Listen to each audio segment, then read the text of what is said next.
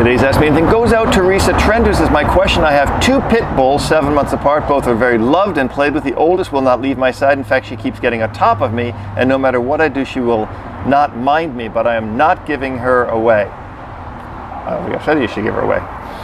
Um, she makes me think I'm dying or something. I don't know. Advice. You're, you're asking me advice if you're dying. I don't. I don't know, Teresa. I, I hope you're not dying. I hate to lose a viewer on my YouTube channel. I count on every one of you guys.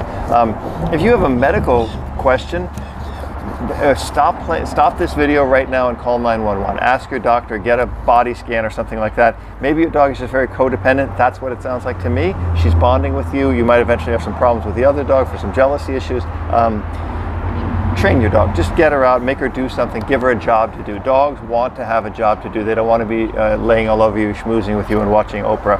Or, I mean, Oprah's not on anymore. Maybe Steve Harvey. I like Steve Harvey. Um, that's that. Got a question? Ask me anything. If you like this video, subscribe to the channel. Like this video, share the video too, and watch some more of these videos that will help you be a much better dog owner.